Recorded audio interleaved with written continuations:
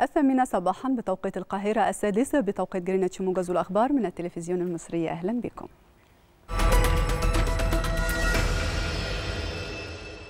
شهد الرئيس عبد الفتاح السيسي اختبارات كشف الهيئة للطلبة الجدد المتقدمين للالتحاق بالأكاديمية العسكرية والكليات العسكرية.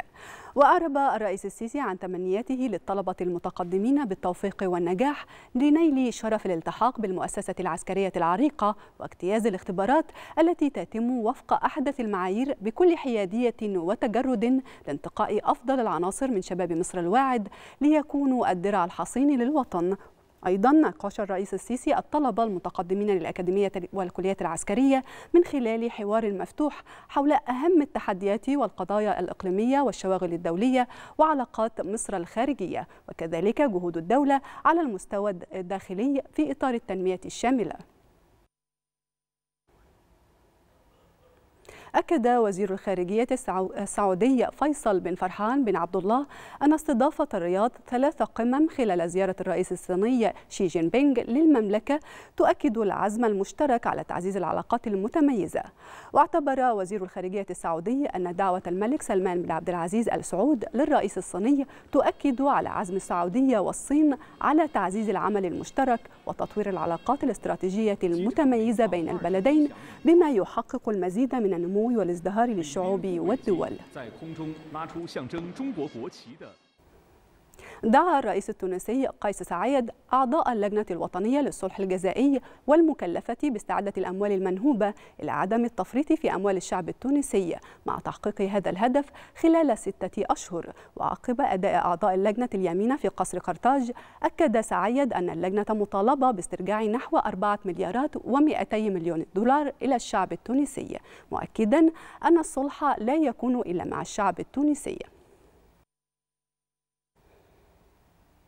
قال المستشار الألماني أولف شولتز إن خطر استخدام الرئيس الروسي فلاديمير بوتين للأسلحة النووية في أوكرانيا تضاءل استجابة للضغط الدولي. وفي تصريحات إعلامية بمناسبة مرور عامه الأول على توليه المنصب أضاف شولتز أن الحرب ماضية بوحشية ثابتة لكن شيئا واحدا تغير في الوقت الحالي وهو أن روسيا توقفت عن التهديد باستخدام الأسلحة النووية في رد فعل على وضع المجتمع الدولي خطا أحمر. أكد الرئيس الروسي فلاديمير بوتين أن روسيا الاتحادية هي الضامن الحقيقي الوحيد لوحدة أوكرانيا ضمن حدودها الحالية. وخلال اجتماع أعضاء مجلس تنمية المجتمع المدني وحقوق الإنسان قال بوتين إن الغرب تجاهل المصالح المشروعة لسكان دونباس وروسيا أيضا مشيرا إلى أن القومين البولنديين يحلمون بالاستيلاء على الغرب الأوكراني الذي حصلت عليه أوكرانيا نتيجة لقرارات ساتلين في أعقاب الحرب, الحرب العالمية الثانية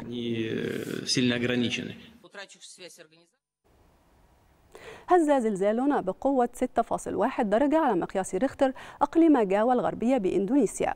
وذكرت الوكالة الإندونيسية للأرصاد الجوية وعلوم المناخ أنه لا توجد تحذيرات من أمواج المد البحري العاتية تسونامي. وأضافت وكالة الأرصاد أن السكان شعروا بهزات في العاصمة جاكرتا والمناطق المحيطة بها.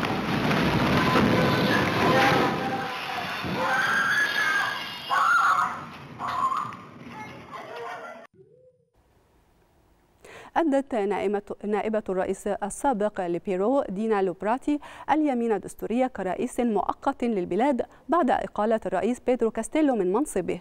وتصاعدت الأزمة السياسية في بيرو بين الرئيس اليساري بيدرو كاستيلو والبرلمان الذي تهيمن عليه المعارضة اليمينية لينتهي الأمر بعزل كاستيلو من منصبه قبل أن تعتقله الشرطة. هذا وقد صوت البرلمان على عزل كاستيلو بتهمة العجز الأخلاقي بأغلبية 101 نائب من أصل 130 في جلسة بثها التلفزيون بشكل مباشر لتعلن الشرطة البيروفية بعد ذلك اعتقال كاستيلو الذي وصفته بلقب الرئيس السابق. مشاهدينا انتهى موجز الثامنة وعودة لاستكمال باقي فقرة صباح الخير يا مصر بعد الفاصل.